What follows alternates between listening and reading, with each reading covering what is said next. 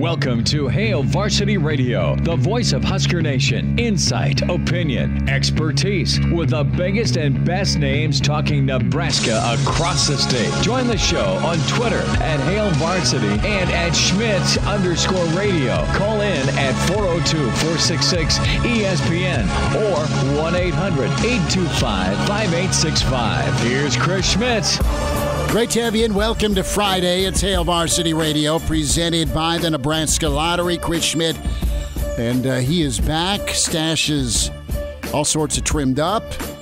It looks peaky blinders good. We say to, hi to Elijah Herbel. What's up, dude? I'm having a great day. You are. We both should like have smuggled ourselves into the ballpark today. It's a little rainy and cold. I'll, I'll go Sunday. You're like, yeah, I'm going to wait till it's sunny.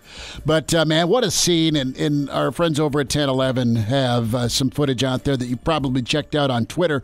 But uh, it is really cool to see Nebraska baseball fans in line, a line that stretched out from the, the, the opening gates of Haymarket Park throughout the sidewalk. And it's not a picture perfect day, but it is that day that allows you, one of the 2,700, to get back into Haymarket. And as uh, we look at the uh, near the seventh inning for Nebraska baseball, they're in great shape to take game one of this four game set against Minnesota.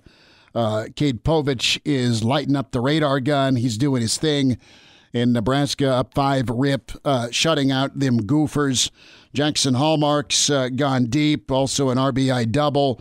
Uh, Mojo sighting there, and Nebraska leads 5 nothing. So that's great. There's joy in Haymarket because uh, you're a fan and hopefully you're there or you got to go or you are going. Uh, part of the doubleheader tomorrow and then the, the final game of the series on Sunday. So that sight was sweet to see pretty loaded show. We will dive headfirst into the deep end of spring football. Parker Gabriel going to be with us here in about uh, 10 minutes or so from the Lincoln Journal Star. We'll talk some Big Red football with Parker. Bill Doleman will be with us, the Pride of Fairbury, NBC Sports. Uncle Bill will check in. And then an extended sit down with Ameer Abdullah, re upping this week with the Minnesota Vikings. We'll talk uh, to Ameer about his career that's already been seven years in the NFL, going into season number seven for him. That competition element that really pushed him and made him fantastic at Nebraska, and just uh, just spend some time with Ameer because he's uh, he's a good dude to, to talk to, and I know he's excited for spring ball. Basketball also on our minds. Staking a beer bet before the show is done. Elijah Herbel with some Sweet 16. We can go through all the games or we can pick one. I'll let you weigh that here between now and 6 o'clock. Good news for Nebraska, though. Uh, one of those scholarship spots, a name we touched on uh, with Andy Markowski earlier this week. Uh, Xavier transfer CJ Wilcher. He has entered the transfer portal from Xavier. It took uh, very few moments for him to decide Nebraska is where I want to be. He's a six-five freshman guard, averaged about three or four minutes a game for Xavier, made one start, and uh, he was a, a high level four star recruit out of New Jersey. So uh, he's a guy that, you know what, is. Uh, has always been on on Abdelmassih's radar and on Hoiberg's radar, and he wanted to to go to Nebraska, but he thought Xavier might be the best spot for him. He's moving on, has a great opportunity, and uh, he is a, a nice get for Nebraska to to make some some difference here with this roster that we feel pretty good about, right? If they can take care of the basketball, continuing to grow. And the thing about Wilcher is the guy is a 35% three point shooter uh, in limited action. So you don't have a giant sample size, uh, but he's a, he's a big time shooter. We'll get to Hunter Sallis and his decision in a moment. But uh, he was uh, the 81st ranked player in the 2020 class. Uh, his little brother is the is the number eight point guard in the country. That uh, older brother CJ is working on little brother already. He's the he's the uh, five star point guard in the country for the 2023 class. So maybe you're seeing uh, a little deja vu here with Nebraska basketball getting the older brother, right? So you can get a little brother that's a, a five star phenom. That never hurts. Yeah, Hoiberg, it worked the first time around. I heard you got a, a pretty good little brother. It's, hey, you, but, you want some playing time? You got to earn it. But we love family life here. I mean, look at the Hoibergs themselves. As as you got uh, Sam walking on at Nebraska, and, and I think it was uh, uh, this morning who, who, talked with Wilcher and said Wilcher told him that uh, he was already started recruiting his brother as of this morning uh, where he, he, committed this morning and already started recruiting his brother. But let's not look past Wilcher. I mean, this guy, Abdelmassih, has been recruiting mm-hmm. since he was at St. John's. Uh, and now at Nebraska, you recruit him out of high school, and he obviously chose Xavier. But now a year later, Abdelmassih goes to work again. Uh, and this guy fills it up from three. He shot 40% in limited action, only one start last year for Xavier, but 40% from deep last season, which is obviously exactly what you want in a Fred Hoiberg offense. And, and he said that this Fred Hoiberg, you know, kind of positionless offense is, is exactly what's going to suit his his skill set. And whenever I watch his highlight tape, I, I would tend to agree with that. No, good highlight tape, and there is some great basketball in the state of Jersey, uh, for sure. Uh, a lot of great uh, uh athleticism, and you look at that size and and and the the length. That is a good fit for Nebraska. He gets big time gets what the the Hoiberg offense is about. That's moving the basketball. So let's uh, move on to another five star topic, and that is Hunter Sallis.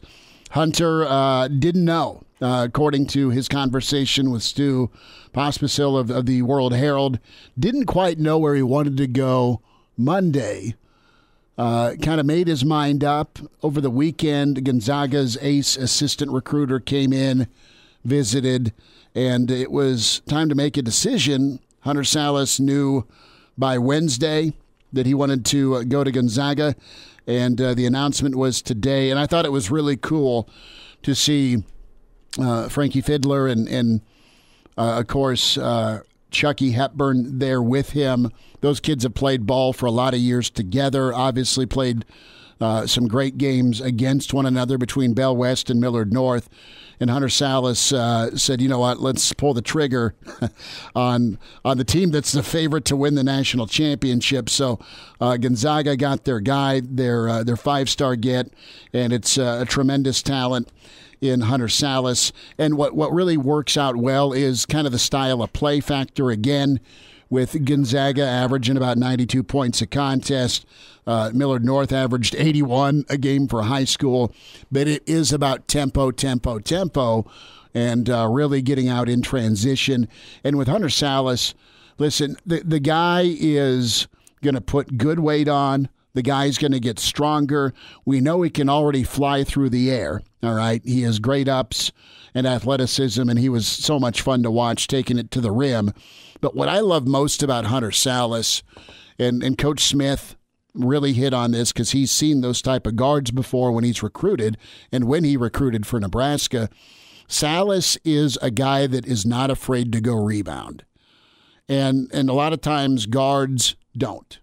Okay. The forward, the the big guy in the paint, uh, maybe your combo guard, that guy based on height and, and, and how wide you are uh, maybe maybe some of these these shooting guards don't want to get their hands dirty, right?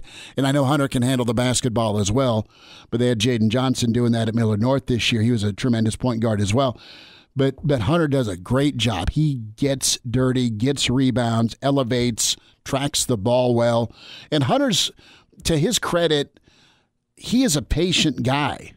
You know, he wasn't out of the gates bang like a cannon he is very patient about letting the game come to him. And even early in that championship game against Bell, Bell West this year that they won, he was just finding ways to penetrate and get his teammates ready. He'd drop one off to Green. Uh, he'd find St. Thomas. He was an exquisite passer on the drive and then quick little bullet pass or pocket pass down low where the defense would draw towards him. And I love his mid range too. When he'd be taking on some zones they'd find a way to get Hunter, and we saw this against North Star. They'd get Hunter to the free throw line, and his mid range was nice. Now, every kid in high school even the the elite shooters in high school, they'll get better percentage wise against tougher defenses when they put the work in at college. It's a whole different ball game.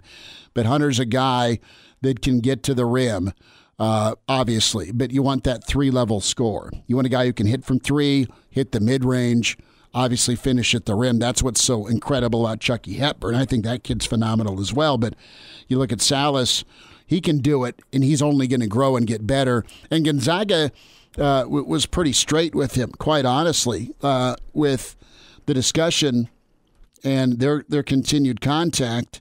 I mean, the the critique was there by the assistant. Okay, the critique was there that listen, this is what you need to do to get better. This is how you're going to improve your game, and it wasn't all sunshine, roses, and lollipops about uh, placating this this five star to get him. I think Gonzaga was pretty real with him, and you know with Hunter, what what is is year one going to look like for him? He could be walking into a defending you know the defending national championships locker room. Gonzaga's that good. Uh, we'll see how they do against Creighton. I think Hunter is a guy that can can get some minutes. I think Hunter's a guy that can be patient and Hunter doesn't have to be the guy that comes in and saves a program. No, he's going to go to a program that's been as consistent as consistent can be. And uh, they've seen that over two decades here with Mark Few. And he's a guy that can find a role and then just go to work on his game within the offense that he clearly fits with his athleticism. So uh, it just it kind of comes down to that patience I saw on court with Sallis not forcing things really. I mean, I've I've had a chance to see five or six of his games over the last two years, and a couple of games when he was a sophomore. So almost you know eight to ten games in his career in high school, and he's always been a guy that's a very unselfish when it comes to passing versus taking bad shots, despite being Mister Five Star. Okay, and and he's a guy that is going to do what's I think best for the team. He'll he'll be able to understand that even though I'm the man, I'm not the man at this next level. I'm going to have to kind of earn my way up and and see what works out well. I really enjoyed uh, Donovan Williams' interview with uh, a publication out of Oklahoma. Just how Donovan's had to kind of reconfigure what he's about, and I know he's dealt with an injury, uh, but he's a local product that was a high level recruit, and he's drilling down on his defense. He's really working on his shooting and he just wants to find a role in a way post injury to get on the court next year for Oklahoma State. You know, because your confidence gets backhanded once you go to college. You used to just doing whatever the hell you want because you're that much better in high school. Well, you, get a rude awakening sometimes. I think Hunter's a kid that'll be patient, and it doesn't have to happen for him right away. And that's where you, you, you get into some trouble with a lot of five and four star kids, be it football or basketball uh, they're they're in such a hurry to be great because they're so competitive and they're blessed. Well, the transition is very real from high school and a really good high school ranks in, in the state of Nebraska here the last couple of years with high school talent to that next level in college where uh, it, it ain't going to be easy and you're going to take your lumps. Don't shake your confidence and, and just find your fit and then get better. Allow the development to happen. And what's nice for Hunter is, I mean, today is his 18th birthday. Yep. Like he's young for his for his class, for his recruiting class. I mean, a lot of those guys that are the, the early bloomers too, they're the type that are born in July, August. Uh, they may be they may be 19 before their senior year's done. Exactly, yeah. And Hunter is 18, still growing into his body. And when I watch his game, he, he's got deficiencies, but he doesn't have any place in his game where I think that's a, a black mark. He is not going to be able to do that ever. I mean, he's got elevation to his jump shot, so even against college defenders, you think he's going to be able to shoot over them once he gets a little experience doing it. As you said, great rebounder, great ball handler. Um, he's proved at Millard North that he doesn't have to be a ball handler. He's been great off the ball as well. Uh, I really don't see a part of his game that doesn't translate well to a college game and eventually to an NBA game. Uh, Hunter Sallis is incredible, and I think Gonzaga was the right pick whenever you watch what they do uh, with Drew Timme now and, and the shooters that they have loaded around him. I mean, it's it's going to be him not necessarily playing on the ball at Gonzaga, I don't think, uh, but I think it's going to open up his game even more the way their offense is structured. Right, and and he wasn't he didn't always have the ball in his hands at Millard North. I mean, he was so good at defending where he'd pick your pocket and then go slam it home, right? But it was it was Jaden handling the ball and, and he was the off guard there and when he'd get it he'd penetrate. All these guys and it's it's pretty common. You need to develop your other hand, your offhand, right? You hear coaches say that all the time. But Hunter going to his left, he would be able to do that and drift.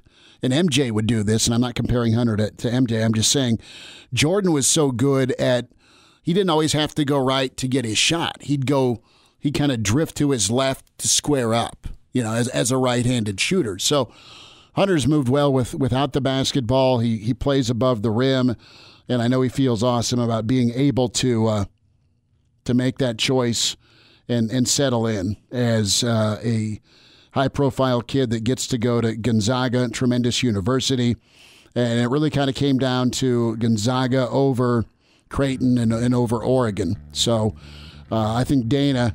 I remember Dana being in town last year checking out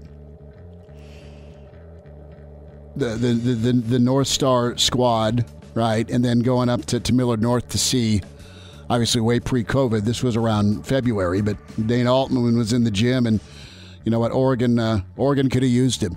We'll uh, get into some spring football. We'll talk with uh, Parker Gabriel next on Hail Varsity.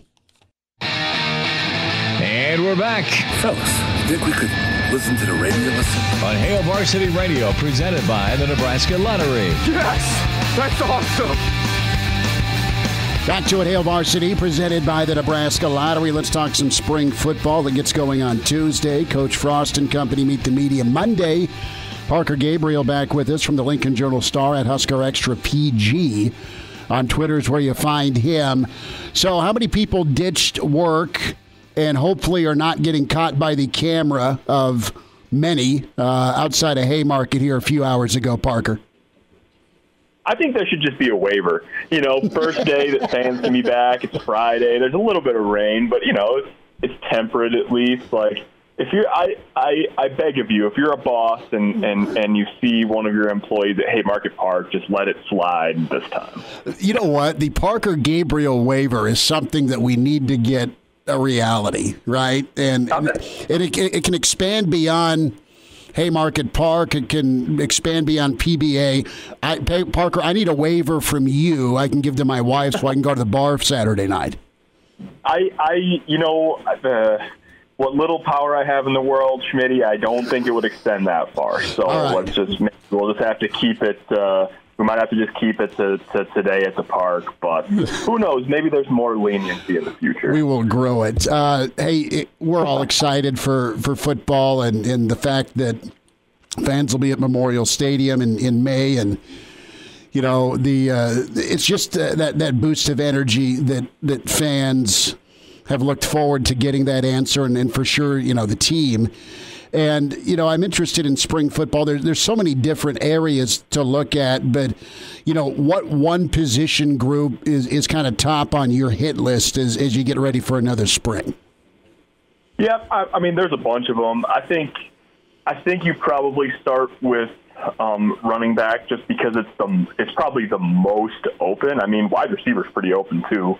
Um, you can't really go wrong with with either of those. So in terms of like what is the pecking order going to look like? I think that those two positions have some of the most wide open battles, and therefore, you know, the intrigue is easy to see. I mean, is it going to be Markese Stepp and then everybody else in the running back room, or or can some of those young guys really make a push at at having big roles? And similarly at receiver, you know, I think we all expect Samari Toure, the the transfer from from this winter from Montana, to have a big role. So, um, but we, you know, we've never seen him in person before. He's obviously never hasn't played it down yet at, at Nebraska, and, and Omar Manning's played very few. And there's a bunch of other guys in that room that that you think can take sort of steps forward, including uh, Zavier Betts. So, the, those are those are two of the most wide open, but you never, even you know, with a, a three-year starter coming back, I think you never get too far away from the quarterback conversation, just because,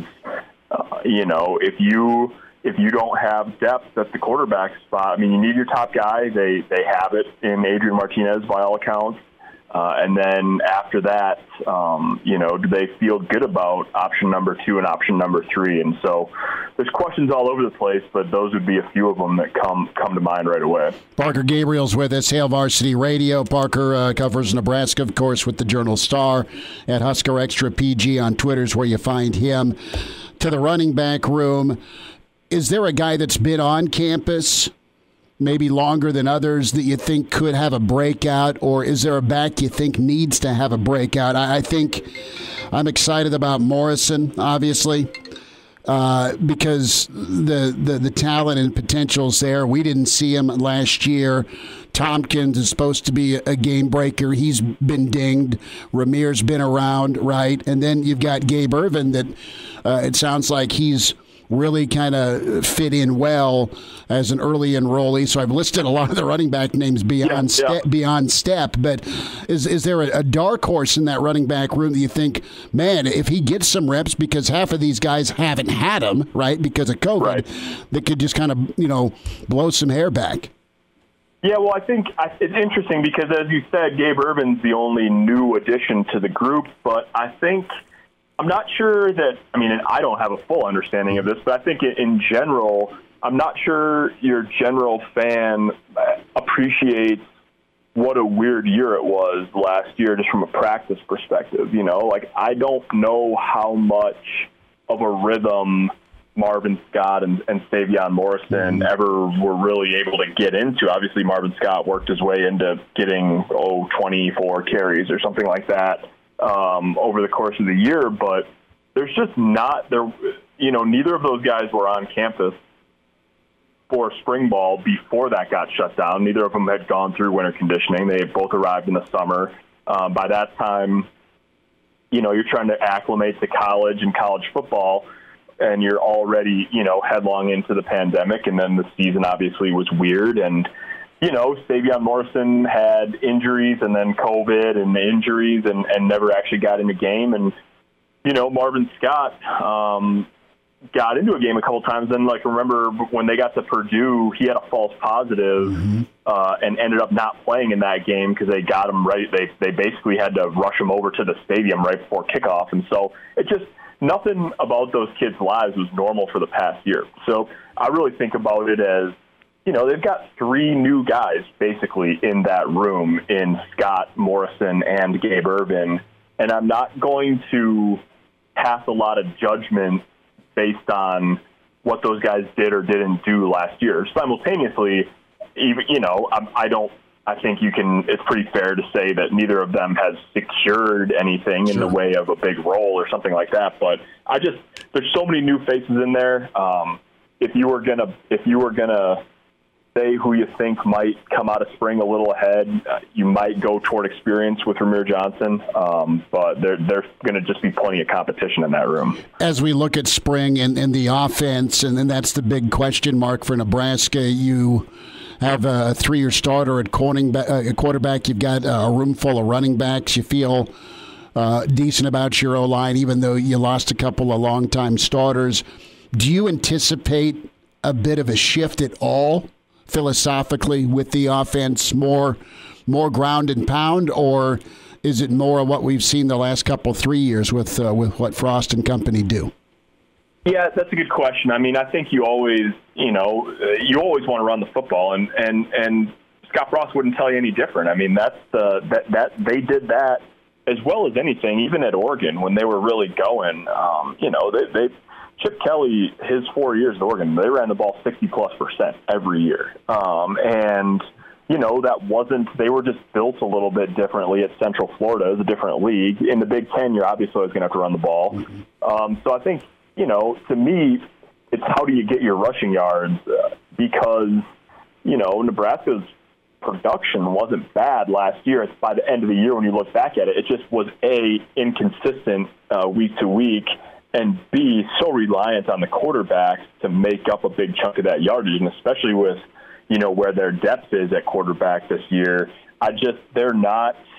I don't think it's. I don't think it's a good way to try to make a living if you're expecting Adrian Martinez to carry the ball 20 times a game. I mean, he's he's done it. We've seen him do it. Um, he is a tough kid, but it takes a toll, and so um, I think they've got to be able to run the ball. Um, I, traditionally, I don't know if that's the right way to put it, but just with your running backs, like the simplest way to put it, you've got to be able to move the ball effectively. They've got to be able to generate a push up front and then build out from that. It's in modern football, like you've got to throw the ball, you've got to throw it down the field. Um, but one of the best ways, you know, Nebraska is going to be able to unlock some of that stuff is by keeping defenses on honest up front. Yeah, Parker. When you look at last year, two of the of the leading rushers in the team were Luke McCaffrey and Wan'Dale Robinson. Neither of whom are uh, running backs, and both of whom are no longer with the program.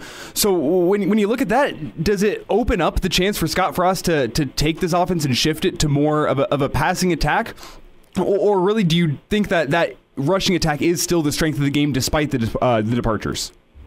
Well, I, think, I mean, like the simplest answer is you've got to be able to to do both. Obviously, the rushing distribution is going to change quite a bit from what it was last year because, uh, you know, I would say, I mean, the the three of their four leading rushers were, as you said, McCaffrey, Wan'Dale Robinson, and Dedrick Mills, all of whom are gone now, and so.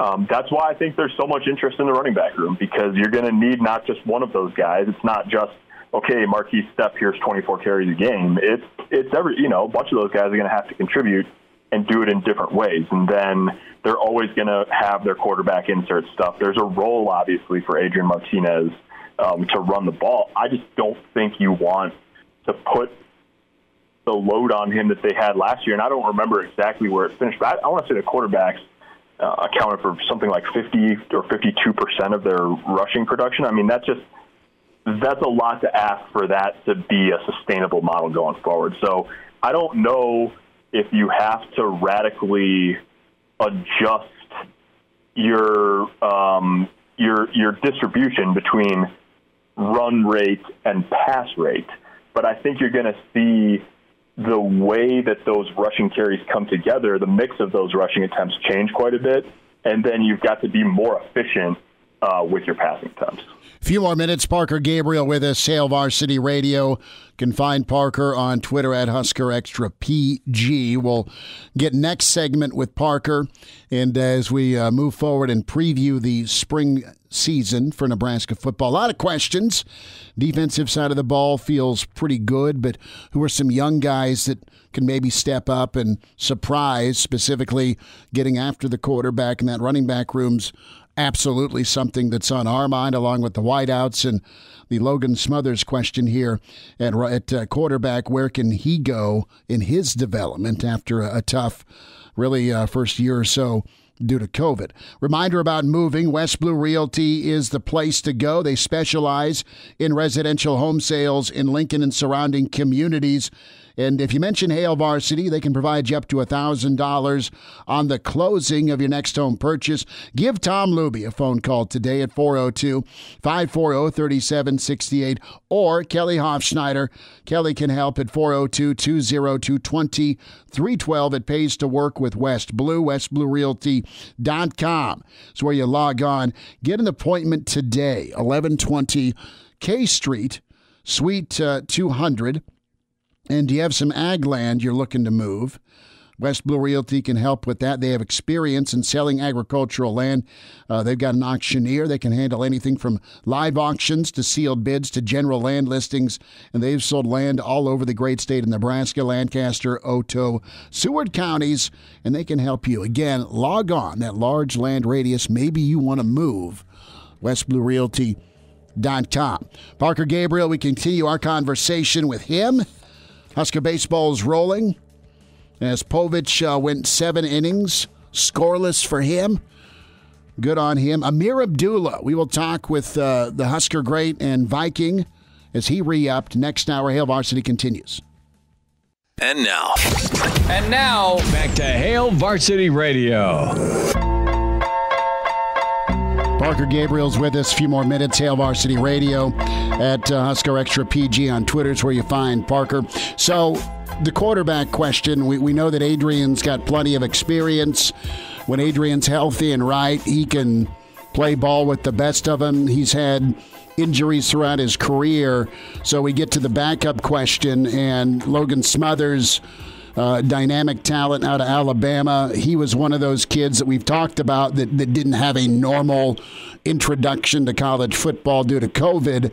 So, how big a spring is it for, for Logan? Because, you know, last year you had uh, Luke and you had Adrian, and, then, okay, there's Logan here kind of doing his thing, but this is a chance for him to step forward. You got Haarberg, obviously, and then the, the does Nebraska go get a grad transfer or a transfer question looming out there post spring. Does that make uh, this uh, these next five weeks pretty big for Logan to solidify something? Yeah, absolutely. I think I think it's a critical five weeks for him, and and I, you know you can put Heinrich Haarberg in that conversation too. I mean, I don't think we need to shy away from just wondering what quarterbacks who are fresh onto campus can do. I mean, you know, obviously it's a little different for, for Logan Smothers because he's been around for a year, but I think both of those guys. So for, for Smothers, you know, the uh, again, it's a similar conversation to the, the freshman running backs as you as you sort of alluded to there.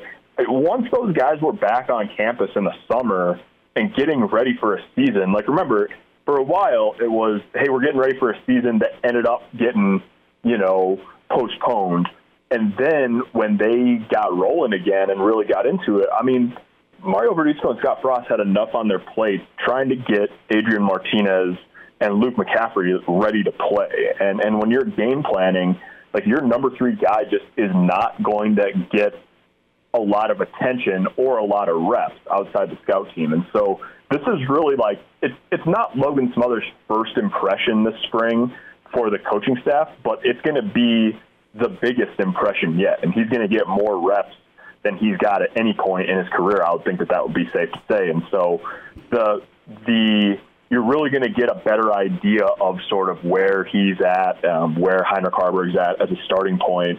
And then, like to me, the thing that's so interesting about that conversation about, you know, do they have to go find somebody in the transfer portal after spring ball is like, if Logan Smothers, if you decide, yeah, you know, he's maybe not quite, we're not quite ready to put a game in his hands, like, there's going to be a bar there that you have to exceed. You're not going to add a quarterback from the portal just to just to add a body to the mix.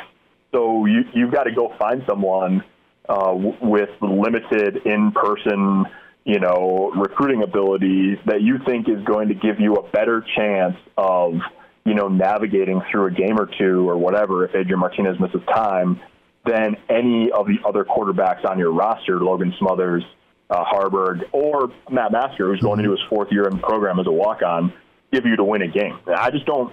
I'm not sure that's going to be um, so easily done, but we'll see what what approach they have to take. And my my hunch is that the Nebraska coaching staff is hoping that Logan Smothers and Heinrich Haarberg and Matt Masker make that decision easy for them over the next few weeks. Well, and guess what? They're going to have the next few weeks to actually develop, unlike last year. Yeah, well, that's true too. Yeah, I mean they're they're all they're young guys. You know, the Smothers and Haarberg in particular. You know, that the every rep they get is building on the front end of the you know the the, the bank there. You you know in terms of experience, and so it'll be. I just think it's it's a very important and interesting um, five weeks for them. But the thing to keep in mind with that too is like it's not the end of the road for either of those guys by right. any stretch of the imagination. I mean, they got five years left, so it's um it's a big early test for them. Put it that way. Parker, defensively, you know what what is kind of the expectation not only for spring but as we look to the future here with Nebraska's schedule in 2021 uh, that has the most experience back. The defensive side for Coach Chinander, nine starters back. Uh, defense was really stout against the run. Specifically, when you look at their jump from from last year to the previous year against the run, they did really well. And I thought the front seven played at a high level along with the secondary. Uh, it's never easy losing a guy like DeCap but uh, there are some candidates there. And is there a name, young or old, that you think can can do some things as a pass rusher opposite JoJo? Yeah, that's that's a great question. I think that's one of the things that you you know, you'll be really interested to sort of see what what happens this spring and who can come to the forefront there. There's a lot of candidates. You know, I don't know.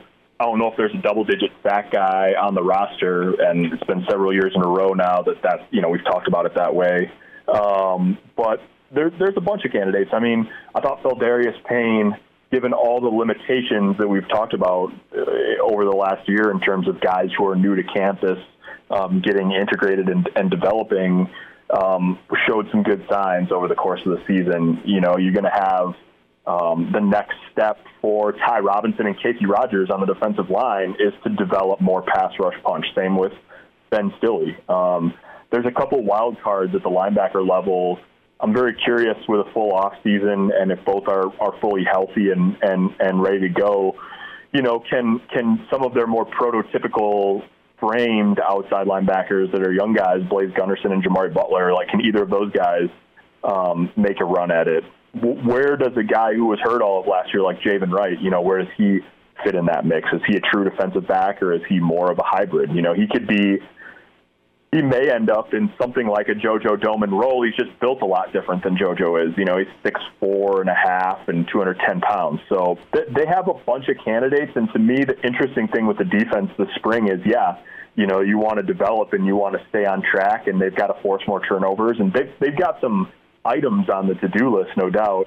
Um, but I also think that you'll you'll see a spring where there's no reason to overtax Deontai Williams and Marquel Dismuke. You know, there's no reason to overtax uh, Ben Stille and Will Honas. There's going to be a lot of reps, I think, for for a lot of young guys um, to try to sort of close, bridge that gap, close the gap, and and find roles, um, you know, on the defense here over the next few weeks. Last thought here, Parker. With just returning experience, it feels like everywhere on this defense. Where is the strength of this Husker defense? Is it in the, the secondary with Williams and guys like that returning, or is it actually up front with these young guys that are looking to come make a name for themselves along with uh, the experience they got around them? Yeah, that's a good question. I mean, I think, you know, they should feel like they can be good at all three levels. The secondary to me is probably where you start, although, you know, that you're going to have a new guy playing corner opposite Cam Taylor Britt. Both of the, I would say, the if you were asking me right now, I would think the lead candidates are Quinton Newsome and Braxton Clark, both of whom have you know some playing time under their belts. Uh, they've got other candidates back there um, that they they feel like can get the job done. So, you know, you're maybe not quite just in raw numbers. The depth maybe isn't quite same in the back end as as it is up front. I mean, up front, you know, you could have essentially the exact same rotation as you did last year uh, in in with Stille, Rogers, and Robinson sort of as your starting point for the ends, uh, Damion Daniels and Jordan Riley inside. And oh, by the way, you know Deontre Thomas only played in two games last year because he got hurt, and so he's in that mix. And all you lost is a few, you know, stray snaps here and there from Keem Green, who transferred to South Carolina. So there's just a lot of experience and a lot of playing time. They should be able to, you know, they should be solid at, at all three levels. But I think you can make a good case for, for either the secondary or, or the defensive line up front. Parker, have a great weekend. Uh, we'll get caught up again soon, and, and thanks for the time today. Yeah, thanks, guys. Happy Friday. And now. And now, back to Hail Varsity Radio. One final time this hour, Ameer Abdullah coming up at 525. A couple of segments with Ameer. Bill Doleman's on the way. Great to be with you on a Friday.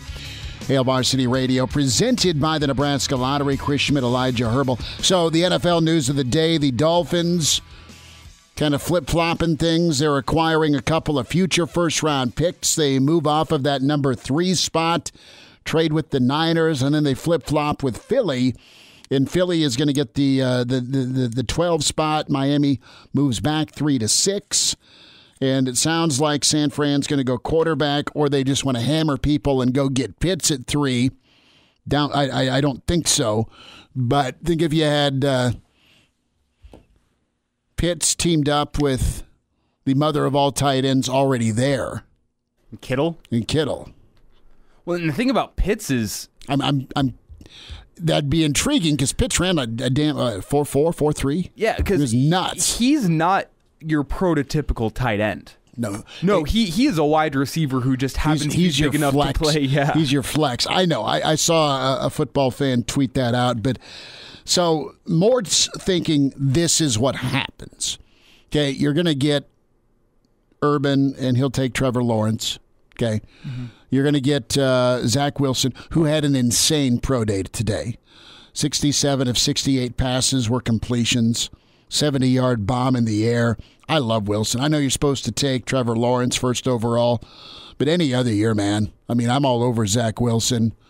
BYU quarterbacks have done pretty well in the NFL with their passing offense. I know they're they're they're high level. So Wilson goes to New York, and at three, if you're San Francisco, you take Mac Jones, and you've seen Mac anywhere from top ten to, to mid teens to late first round, and the thinking behind that is just the the style of quarterback that Mac Jones is, and you've had Shanahan have success with Matt Ryan, okay, in Atlanta. That was his quarterback. And then also with Cousins, okay? So maybe you, you go that route. If you're Philly, dropping back to 12 is still going to allow you probably a chance to get uh, a, a wide receiver, right? You're going to be able to get Smith or, or Waddle, likely, potentially one or the other at 12. The, thing is about that 49ers pick is I think everyone in the sports world would be up in arms if it was anyone but Justin Fields at three. I I like Fields, but I just I don't know that he's as good of a thrower, and his numbers say he is. But I'm saying in the NFL, But those is- windows are a lot smaller. they are, and and Mac Mac had a lot of help around him, and he was great. Okay, he he didn't screw up the Ferrari clearly, but with Miami, that they either go with Fields or they stick with Tua. I think they're sticking with Tua, and they're going to surround themselves with whatever they want at skill, Makes a lot of sense. which is nice. to, now, to give Tua one of his targets from Alabama and DeVonta well, Smith. the, the, the, the touchdown game winner against Georgia. I'll, I'll say this too: if if I'm real honest, I don't know that there's a lot of love with the patience game. I thought it was too soon to eject on Tua. And I'm glad that, and I hope Miami sticks with him. Jimmy G, I think his days are, well, clearly numbered, but he has missed 23 out of the 48 starts. Okay, that that's the bottom line of it. Bill Doleman's on the way. Welcome to Hail Varsity Radio, the voice of Husker Nation. Insight, opinion, expertise, with the biggest and best names talking Nebraska across the state. Join the show on Twitter at Hail Varsity and at Schmitz underscore radio. Call in at 402 466 ESPN or 1 800 825 5865. Here's Chris Schmidt. Back with you, Tower 2. It's Hail Varsity Radio, presented by the Nebraska Lottery. Ameer Abdullah coming up in 25 minutes. We say hi to the Pride of Fairbury, NBC Sports, Bill Doleman. Bill, are we going to see at the spring game now that folks can attend? Uh, I think there'll probably be like 95,000 uh, people there. And, uh, you know, if, if I can uh, get a ticket, then there might be 95,001. Well, the, the Moose let us know about 45,000 to start, but that number could grow to 75% capacity. So I guess Okay, what I'm- 45,001. Okay, so you're you're going to army crawl in and and do it, but it's pretty cool that, that fans are, are going to be in, and this has kind of been an ongoing topic throughout the week. The kind of that fandom and that energy the fans give, and I'm you're the perfect person to ask this to. In your career covering Nebraska uh, as host of the Tom Osborne Show, is there a game that is always kind of in your back pocket where all right nebraska played great it was a tight ball game and the the big red 12th man really showed up in full force is there a game that the, the fans were over the top in a great way that, that helped Oh. propel victory A couple of them, a couple of them stand out. Um, the the '94 win over Colorado. Um, I, I think that you know, that game was over before it began um, because it was just such an electric atmosphere. And when Tommy and Mike Minter walked down the tunnel uh, in street clothes, wearing their jerseys with Tom Osborne, and the Colorado Buffaloes were watching that while they stomped on the end and flipped us all off. Um, but the crowd, when they saw those guys walking down the tunnel, that game was over. And I think Bill McCartney even mentioned that. Um, that was spectacular. Halloween night again against Colorado, 1992 was. I mean, that was just uh, um, that was that was like a horror flick. You know, watching that, it was kind of dreary and dark, and you know, we were we were the Jasons in the mask. I mean, we we're, we were going to win. We we're the Michael Myers, you know. Um, and I still remember the scene that when we did the highlight videos that year and, and for the game, there was some guy that did have a, a Jason or Michael Myers hockey mask on, you know, in the overalls. I thought that was classic, and we used that in all the videos. That one was spectacular. And then, then you know, on a different note, um, after after the you know the, the the tragic stuff that happened in 94, 95, I guess, you know, after the whole Lawrence Phillips thing mm. uh, happened. And I think we played Arizona State the following weekend. And uh, the way the crowd, you know, was just so behind that team that afternoon. I think that's who we played. I don't, I don't remember. It was, it was, it was, it was Arizona State. Yeah. I mean, that game was – I mean, we we were up like forty nine to nothing in the first half or something. We're, we're we're having to put our starters back in at the end of the uh, second quarter because you know the the third and fourth team guys were getting tired. You know, and the crowd though was just so electrically loud for for different reason. You know, just like this universal support of Tom and the program, and um, that I, I remember that it was that was really a, a unique atmosphere uh, when they took the field that day. I don't. I mean, I don't think it, it changed the outcome of the game, mm-hmm. like the call those two Colorado games. But uh, you know, those were those were pretty spectacular. I also remember, you know, when when I think we played Texas A&M and lost the, the weekend, the four-year case of the flu bug finally went away. Yeah, that's People that's the other. That's the other end of the spectrum. Yeah, it was like, oh, we're losing, but you know what? Uh, the sky's bluer and Tom's back and mm-hmm. everything's okay. well, that that A and M game was was brutal, but yeah, uh, it was. That was uh, 07? Yeah, yeah, yeah. But that there was there was there was a uh, there was a Rocky Mountain High atmosphere to that for for different reasons. Probably. Bill Doleman's with his NBC Sports, uh, Pride of Fairbury at Bill Doleman on Twitter. Bill, uh, pretty big day up at uh, Millard North. Hunter Sallis, five star uh, guard for now Gonzaga. Is he committed? And you've covered a lot of basketball. You've done some Gonzaga games in your career. You know, uh, you've been around Mark Few, and you know it's a nice get for hit for for Gonzaga. Clearly, you've got uh, a generational class this year and in future years in the state of Nebraska with high school talent, really high level kids. And it sucks to see him go, but you, you wish him well and think that that things will be pretty high level for him. What can you say about what you know uh, about Gonzaga and, and how they're able to not only now start getting five stars, they've been getting their own kind of type player for a lot of years, and they've been great. They'll probably win the title this year. But when, when it comes to Sallis and that blend of talent with the Gonzaga program and the up tempo style, I know you followed a little bit of Hunter's success here. Uh, tell me about the, the match between these two. Well, I, I think that the, to um, the thing that struck, has struck me over the years about Gonzaga, and I remember a hundred years ago when um, uh, you know, he first took over that program, and then he kind of became the uh, the the flavor of the month. You know, the the who's going to where is he going to go after he leaves Gonzaga?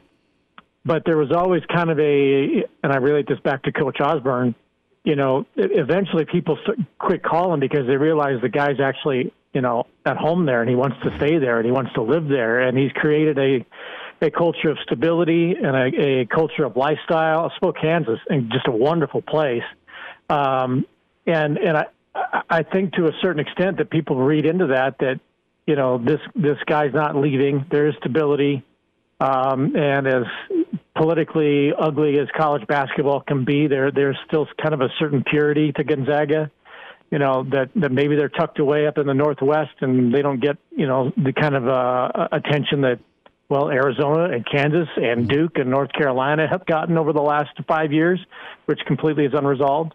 Um, but I, you know, I just think it's the culture of stability and the lifestyle that Spokane affords, and the, the way that that he promotes that is similar to what you know Tom did for so many years. That you know Lincoln, Nebraska is a, a pretty great place to be. This is where I want to live. I'm committed to this place. Uh, it's my program. I've built it, and I don't want. I'm not going to go. And so you might as well just quit calling.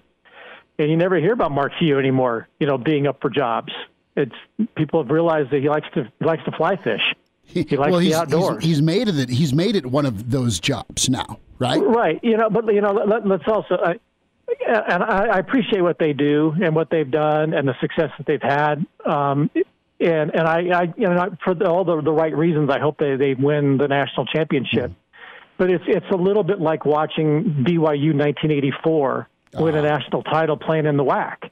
You know, they play in the West Coast Conference. There's BYU is okay. Uh, St. Mary's, you know, flirts with an upset every year.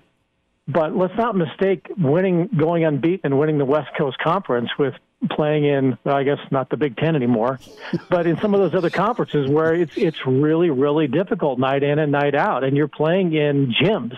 You're, the only place that's that's an arena really in the West Coast is is Gonzaga.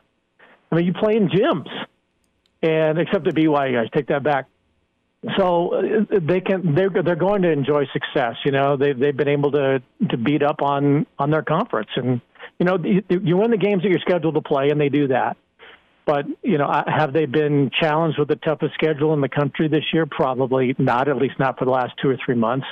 Um, and I know they try to play a, a marquee game, you know, or two in the first half of the season, and but look, they're great. There's no question about it. That's a great team, and, I, and if they win, that'll be a feel-good story, and it's long, you know, deserved for I guess the overall body of work of the program that they built. So if the kid from Nebraska is is excited about going there, mm, okay, great. You know, it's happened over the years. Bill Jackman was enamored with Duke and ended up coming back to Nebraska. Ron Kellogg's in Kansas. Cedric Hunter goes to Kansas. You know, it, it happens. So if this if this kid you know found a program that that speaks to him with the stability that Mark Few Mark Few provides, great. I do think that you know when I'm, when I'm reading about this, that this might be the kind of recruit that is may have been affected by the fact Nebraska couldn't play at Pinnacle Bank this year. You know, because there is there is something special about playing basketball there. I, I I find it really remarkable that Nebraska has a great home court basketball advantage at PBA. And you know, if, if they're playing this year and they're having 14, 15,000 people there watching a team, you know, win by four, lose by 14, but they're still coming, that speaks volumes to recruits. And maybe maybe he's got a Nebraska at least in his final five, which I don't think he did. Um, so I think Nebraska really has been hurt, you know, maybe more so than some teams as, as a building program that they didn't have a chance to put people in their home arena. Yeah, Bill Hunter Sallis said this morning that he liked Spokane, Washington because it reminded him of uh, of Nebraska and that he could just go there, focus on school and focus on basketball, and there wasn't much else to do. And does that remind you of, of Lincoln, Nebraska, and, and why you know Tom Osborne could find success back in the '90s, and hopefully, as a Nebraska fan, cross my fingers for why Scott Frost could could find success in the future.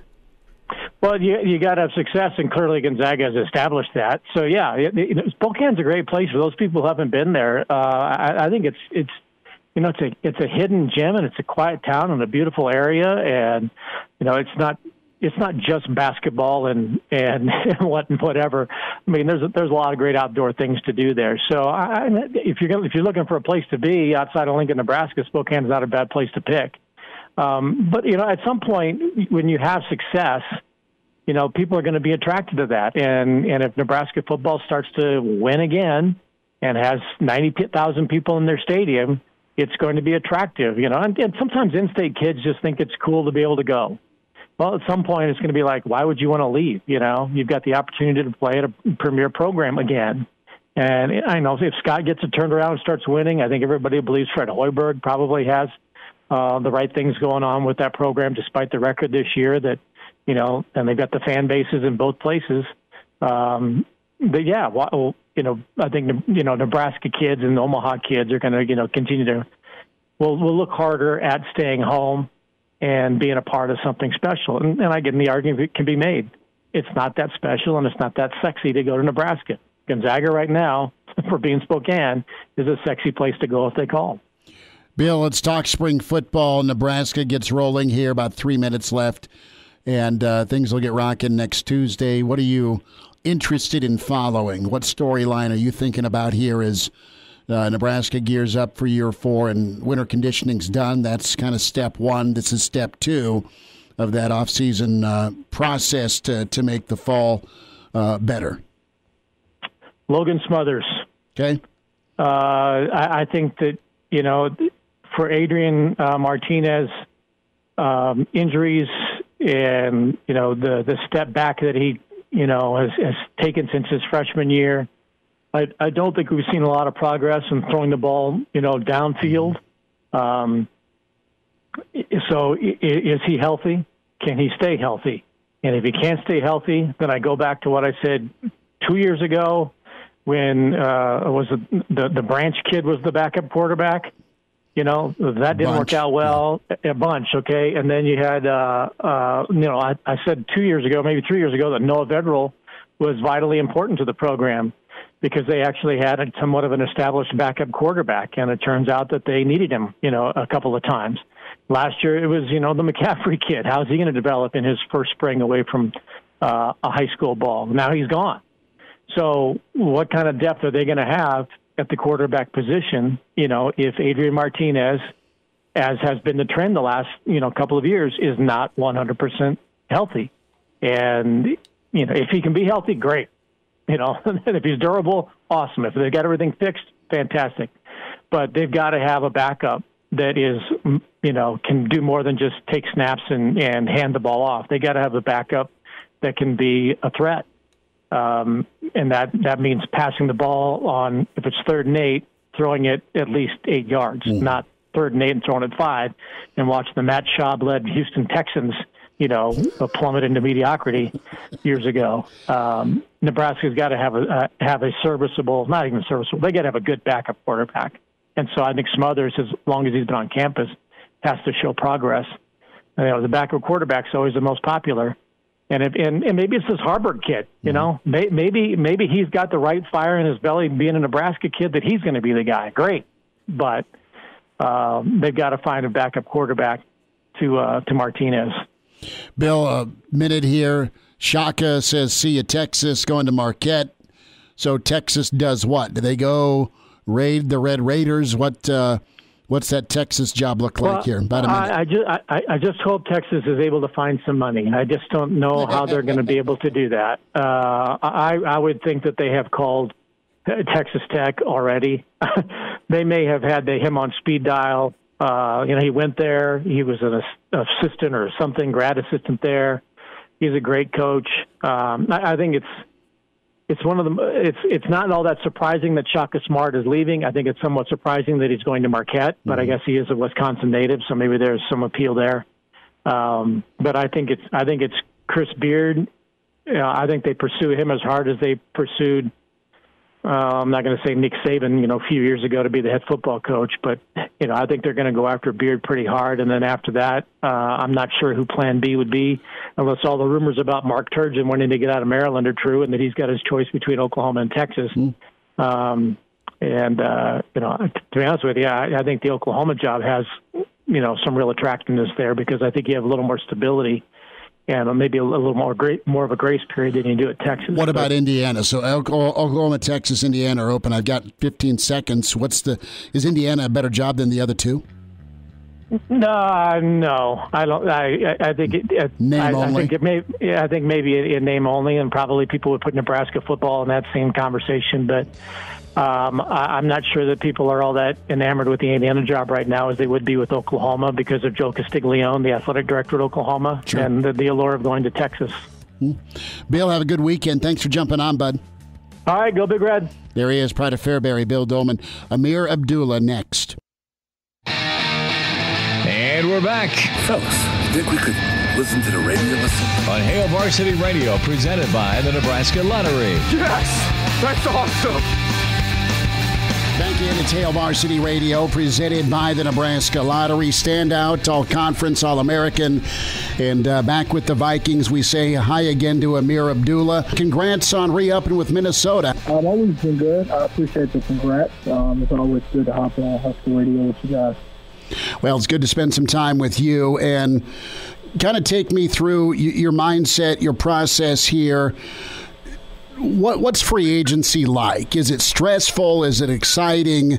How do you deal with the, the business side of, of the NFL? Uh, it all depends on um, obviously what you did the season before and um, what the market is for your given position every every year. Luckily for me, it's been pretty uh, stressless. I had a good idea of uh, where a few teams viewed me going into free agency I knew I wanted to be back with um, a team that I was familiar with, at least coaches that I was familiar with. And um, luckily, the Vikings, we've been very successful where coaches have gone to other places and been very successful as well. So my opportunities were a lot more um, vast than in the past. So um, this year it wasn't as much stress. I just enjoyed it all. Ameer Abdullah is with us here on Hail Varsity Radio. Ameer, let's touch on your role, and you kind of do it all. You catch the football, you run the football, and you uh, you do the return thing. And um, when it comes to, to finding your foothold in the NFL, you you've been able to, to be successful at, at three different levels on, on offense, and it's pretty much about versatility, isn't it? Once you get to the next level. Yeah, definitely. I mean, the more you can do, you know, any young player coming into the league, uh, it's going to be definitely a humbling experience, understanding that you're going to have to learn everyone else's, you know, position before they're going to trust you to um, go out there and execute. So, um, any guy coming out uh, in the years to come, uh, make sure that you're definitely focusing on the bigger scheme, the bigger, the bigger picture, um, so to speak. And I think that's what's really helped me um, continue to have success in this league.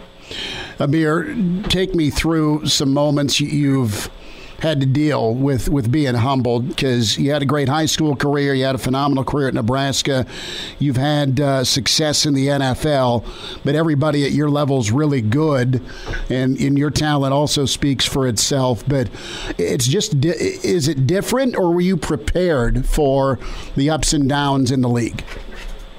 Uh, I mean, I'm just prepared for life, really. You know, I think everything that you do is just um, in alignment with who you are as a person and what, what you can handle.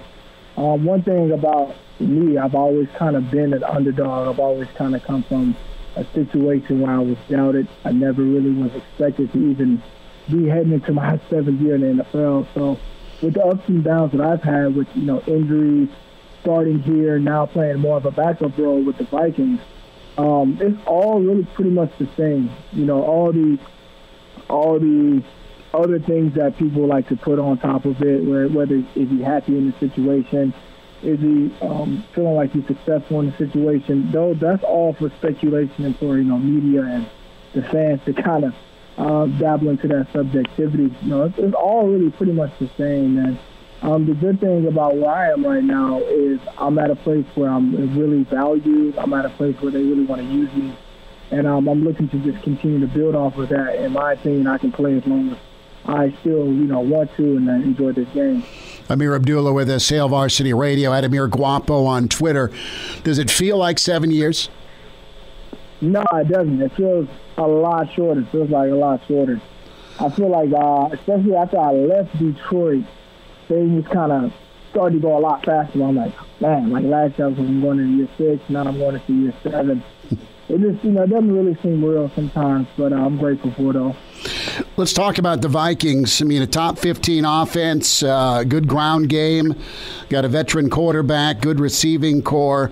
You guys were right on the cusp last year uh, of the playoffs.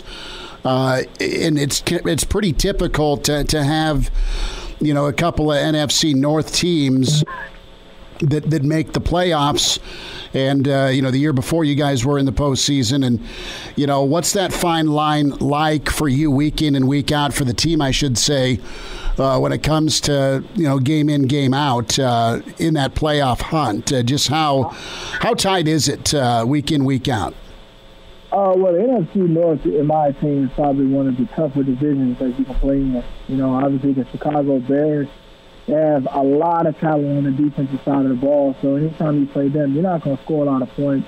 Um, the same as can be said about the Green Bay Packers. Obviously, they made a deep run in the playoffs this mm-hmm. year, and then their offense is just so dynamic. Anytime you know you're playing Aaron Rodgers, a guy can you know he can have a career day on you at any given moment.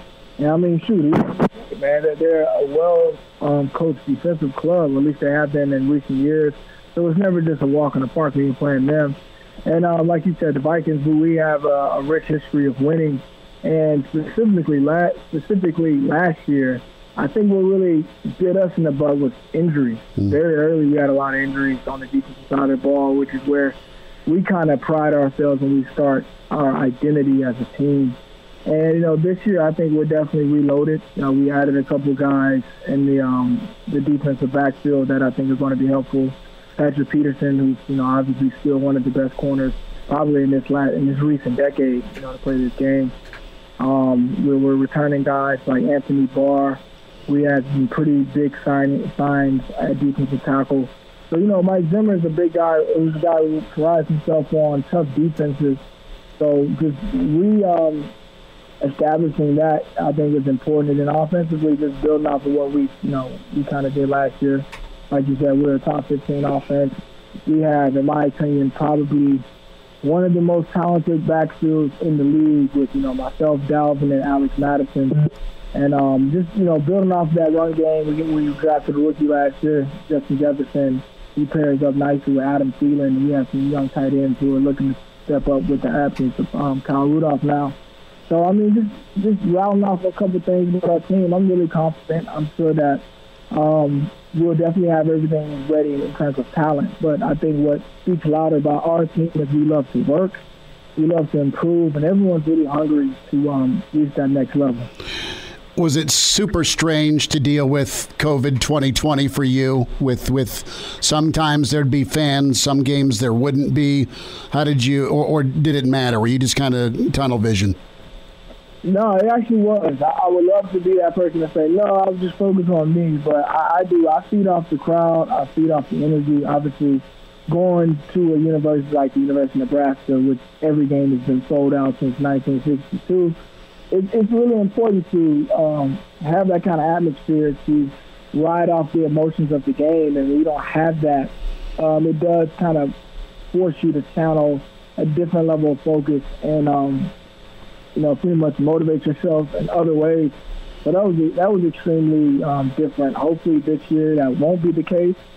But you know, if so, at least we now have a year under our, our, our belts where we do have experience with that. We know that you know you got to bring your own juice on game day. You hear that bringing your own juice, easier said than done. And you know, I want to go back to Nebraska for a moment. Ameer Abdullah with this. Is there a moment, uh, probably several, but is there a game I should ask? Uh, that that really you remember the crowd influencing influencing you and your energy level? Is there a yeah. game that, that really kind of you you're usually at a level ten, but it went to, to twelve uh, because of that juice? Yeah, for sure.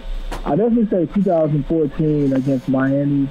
Um, that that was a game that was highly anticipated. Obviously, the rivalry between Nebraska and Miami in the '90s, and even in the early 2000s, obviously they were they beat us last time, and we played them prior to that time. Um, and just you know the legends coming back from the 90s, uh, just giving us pep talks, really just giving us the history of you know what this game kind of means, even though the implications weren't the same as they were in the 90s. But those being championship games at the time, it definitely felt like a championship game. I, I honestly, in my entire career of football, don't remember a single game where I felt more pressure, but it wasn't pressure in terms of like a fear of not, you know, living up to an expectation. It was more of just like a a inner fire to really prove the doubters wrong because you know, it was a lot of things my senior year being compared to Todd Gurley, Melvin Gordon, a lot of the top backs in the league in the country. It was my first time to really be on national TV where everyone was watching, and it was an opportunity to really show what kind of brand of football Nebraska likes to play, which is smash mouth at the time, you know, running right at you. And, you know, I consider myself the best back in the league that in the country that year. And I just remember that game. Every carry just meant so much to me, and I really felt the crowd behind me. You know, always supporting like the Nebraska face always does. So I'll definitely say 2014 against Miami was one that I would never forget. I can almost remember like every carry that game, I can't say that for every game I played. Ameer, there was like blood in the water for Nebraska fans that you know leading up to that kickoff that night yeah. game because of the uh, I'm gonna uh, the, the, dislike for all the years Miami would either put a hurting on Nebraska during an Orange Bowl or you know the heartbreak for for the uh, the, the, 80s national championship uh, chase in, in 84 in the 83 season but you went for 200 yards plus that game man and it was I remember sitting down with you the week before, and and growing up, a lot of you and your teammates. I mean, you love Nebraska, but one of the programs I remember talking to you and De'Mornay, and, and there was a lot of guys your age uh, that, that grew up watching the U. I mean, that was one of the teams yeah. guys honed in on, correct? Oh my goodness, yeah, man. Like Willis McGahee, Clint Portis, like just, just just going back, looking at the rich history of Miami. Um, I'm really hoping that you know University of Nebraska and Miami, for the sake of college football, can really return to that kind of dominance because it, it, it really it made college football that much better. And you can have those two pillars moving at you know the pace that they were back in those days. It really shakes up the country. You know, obviously Clemson and Alabama, they kind of run you know the the, the tide of things in college you know recently, but. Mm-hmm uh, just really getting back to that that that pure, consistent winning and the prestige is, I, I think, something that a lot of fans on both sides, Miami and Nebraska, are looking for. That's Ameer Abdullah. More with the Viking running back and kick returner. A few more minutes with Ameer Abdullah on the other side. Hail Varsity Radio, and uh, we're presented by the Nebraska Lottery from Ameer there, and we sat down with Ameer yesterday morning. He uh, has been doing his training uh, in Atlanta, got the contract offer this week. That was outstanding for him. Real easy decision to re up with the Vikings. And it's fun watching him do his thing. Really talented kick returner and uh, can do it all run it, catch it, and uh, part of that offense. Vikes just missed the playoffs. More with Ameer. Some great thoughts there on that Nebraska Miami game. And uh, we'll hear uh, more from Ameer. Another full segment with the Husker great. Hail Varsity, we're presented by the Nebraska Lottery. He's in his 30s, but sounds like he was born with a stogie in one hand and a brew in the other. Now, say my name. It's Schmitty on Hail Varsity Radio. I got the body of a taut, preteen Swedish boy. More with Ameer Abdullah on Hail Varsity Radio. Ameer, with your time at Nebraska, tell me a little bit about your preparation and the competition and what it was like to play for Coach Brown. Man, I, I think timing is everything, and I had the opportunity to go to West Virginia or Nebraska for running back. And at the time, I was a really big Noel Devine fan. Sure. Just passed on from um, West Virginia, and they pretty much had promised me that I would start from day one. When Coach Brown was recruiting me, you know, Uh, Rex Burkhead was the starter. And not only that, I was only like a two-star recruit, and they had already had commitments from Aaron Green, who I think he was like the second rated back in the country. Then Braylon Heard, who was a late qualifier from the year prior. He was like a top 10 running back in the country. So it was really no guarantees that I was really going to crack the field. You know, just watching Rex Burkhead and watching how they worked and how he taught. He, he's always a universal teacher. Everything that he did, you can take from the game of football and apply it to life. And I, I just felt like I, I would definitely gain a lot more in my experience there than I would anywhere else just playing the you know position of running back. Couldn't have made a better decision coming in, uh,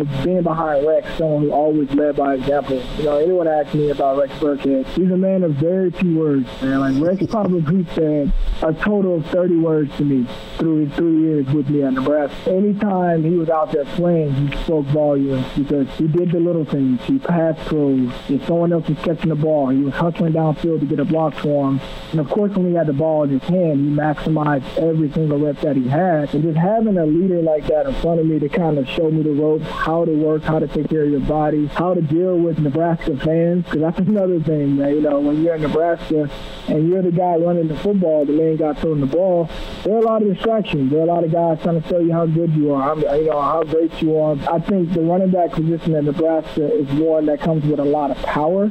And if you know how to definitely navigate and use that to be your benefit, but it can also break you down as well, as you can see with some, some past history examples that guys didn't handle that spotlight as well. Just going back to Coach Brown, he's a guy that I still stay in contact with today. He, he congratulated me last year when I re-signed with the Vikings, and you know I'm sure I'll talk to him pretty soon. He's a guy who's become like a life, you know, lifelong friend for me as opposed to just, you know, someone who coached me for a couple years. Ameer, year four for Coach Frost in Nebraska. Pretty heavy schedule in front of them. A lot of excitement, a lot of anticipation. Are you looking forward to, to following Nebraska? Do you get a chance to do that much? I do. Try to keep up with Nebraska as much as possible. This year was different because I had no clue what was going on. Right. I didn't know when when things were playing with COVID and everything, but hopefully things can be more on schedule this year because it's part of my routine. Watch Nebraska Saturday before I play on Sunday. Talk to all my guys, Kenny Bell, Will Compton, Josh Mitchell, Toby Okiuni. We all, we're all, Nate Gerry, we all in um, a group chat. Quincy Enunwa, Tariq Allen. I can't leave them out or they'll be mad at me. I got to make sure I get everybody in. You know, we always talk about, you know, the stirs on Saturday before I go out and play on Sundays. I'm always, I'm a believer in South man. I'm a believer. I know we had a lot of transfers, but I think adversity reveals a lot in people. Some people who, you know, they have adversity and they're willing to stick through it. And, you know, some people feel like, you know, other alternatives may be best for them. And it's not to say that they're right or wrong with whatever decision they make, but they have to make that decision. And, you know, unfortunately, there were a lot of transfers that obviously were, you know, talented players from Nebraska. But life goes on, and I, I think Scott Frost would do well, you know, from this point on. Does that kind of blow you away, seeing this transfer portal with the thousands of kids that are checking out uh, greener pastures, they hope, anyway? It's free to do as we speak. I think any kid who wants to achieve his dream should, should never have his,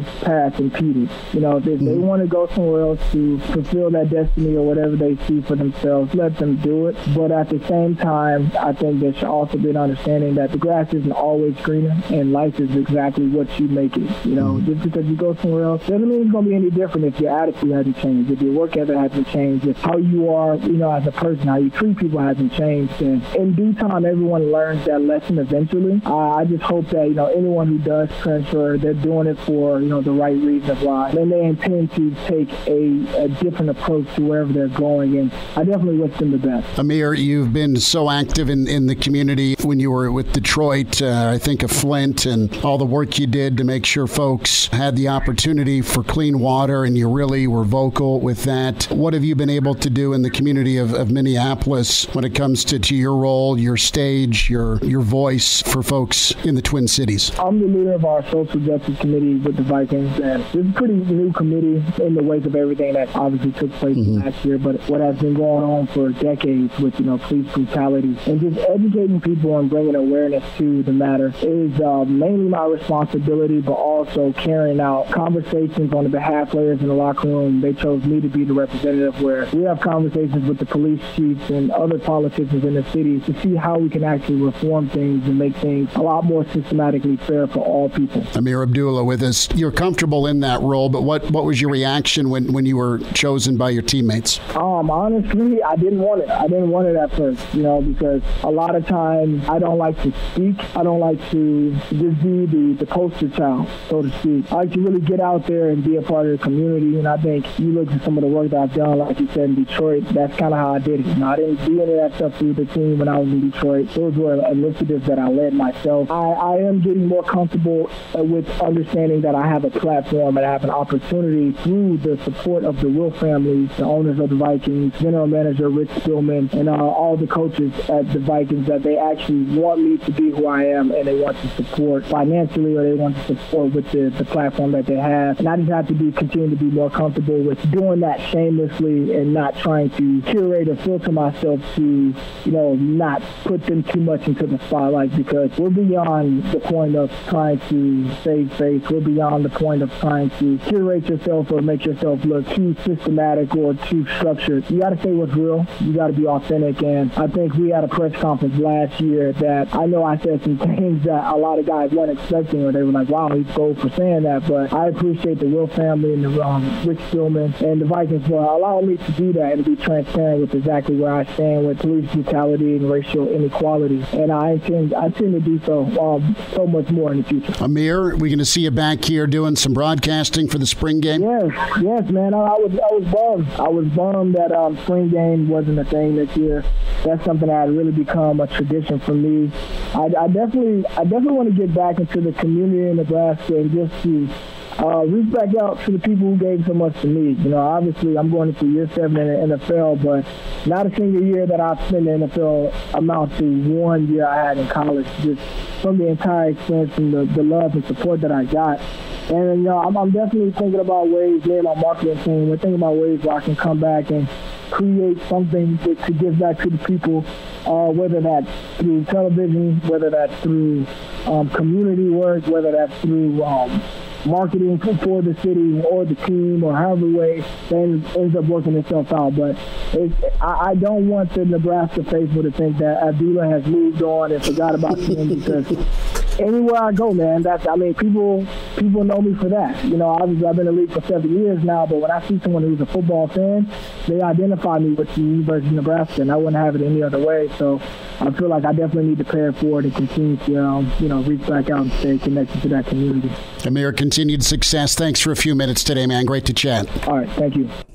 Samir Abdullah, long chat with him. We covered the Vikings, his role on and off the field, his time at Nebraska, the running back room, the, the topic of competition and transfer. So that'll get posted on the uh, on the on demand section, ESPNLincoln.com, and of course the podcast, Spotify, iTunes, Google Play. Let us know what you think of the show.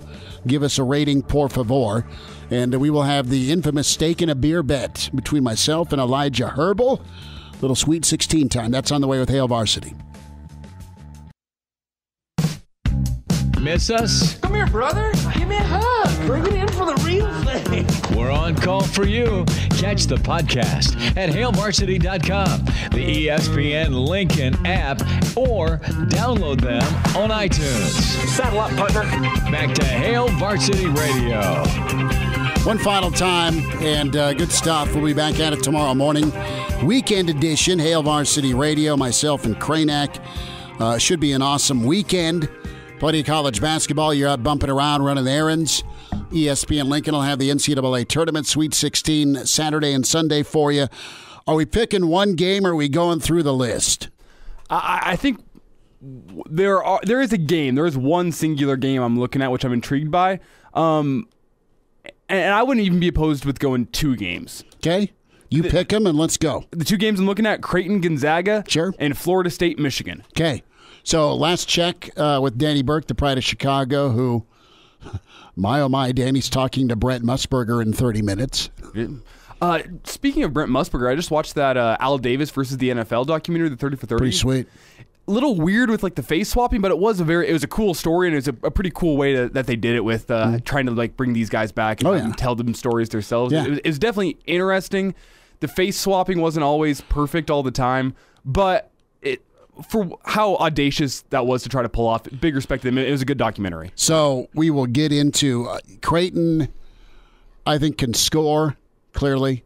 Mm-hmm. I think Gonzaga's too much. I think Creighton covers. Is the line this one like what? 14? 13 and a half. Did, did it jump? Uh, I checked a couple days ago. I think it was 14. It may be going towards Creighton. Okay. Uh, let's just pull up the line. How about we do that? Uh, I'm going to let you go first. I'll take Creighton. You'll take Creighton to cover? Yeah. Well, I was thinking about going the other way. So, so okay, steak and a beer. We're we're virtually shaking hands. You got Gonzaga and I have Creighton to cover. The official line I'm seeing here is still 13 and a half, yes. Okay. Give me Creighton to cover. Creighton to cover 13 and a half, and I'll, I'll take Gonzaga to cover 13 and a half. Creighton's good, but I Gonzaga's think money. I think this Gonzaga team is just too good, and I think they're going to give them some fits defensively. Even though Gonzaga's offense is so good, uh, I just don't know if Creighton's going to be able to shoot the ball as well as they have against some. They need. They teams. need to, and, they and need quite to honestly, I mean Creighton's beaten two high seeds. Right? They they they've put their cigarette out on Cinderella a couple of times. All right. And now you'll face long and lanky Gonzaga. Right. Uh, gonna be a Michigan, problem. Michigan, Florida State. That line's still at two and a half. Michigan's favored. I think the difference here is is Livers because he's watching. Both teams score. Both teams play good defense. Both teams can hit from three. Both teams are good from the free throw line. Uh, I like Florida State. Yeah, I like Florida State outright too. So I guess we're gonna go back to the Creighton as our as our stake in a beer bet. But when I look at this Florida State Michigan game, it's Florida State's long and lanky. If you watch their game against Colorado, they're not good defensively. They are borderline elite defensively for a college basketball squad. I just don't know how Michigan's going to generate enough offense to beat. The, it's going to be a close game. Don't get me wrong. I think it'll be outstanding. Do you like Oregon oh, USC. minus two? Ah. Is fa- SC's favored? I really liked USC over Kansas. This is one that I really wanted to stay away from because I didn't watch enough Pac-12 basketball this year. you, me, and the rest of the world. we, we watched to see, you know, if Bill Walton's hallucinating, bless his soul. UCLA, do they cover against Bama six and a half? This I UCLA don't think- I don't think good. They, they, they now have a week of rest, so I, I think they do cover. I think they, I think that week of rest may slow them down. They really impressed me all They, last they were week. in the play-in, and then they just kind of kept on rolling. they played three games in six days, and I I think they looked outstanding in two and a half of those three games. Let me let me see Mick Cronin erupt and get tossed. We'll talk to you tomorrow morning on Hail Varsity. Thanks.